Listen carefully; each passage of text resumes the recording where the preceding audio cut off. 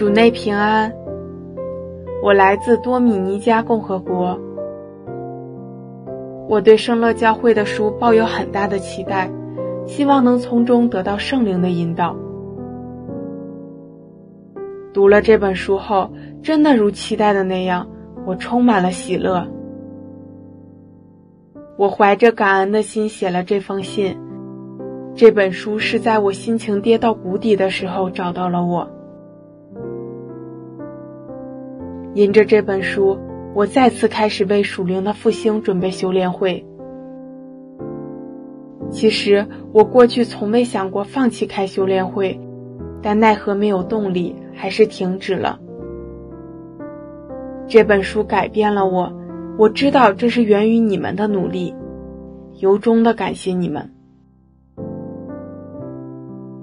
安东尼奥·阿德里安牧师，二零二二年八月二十三日。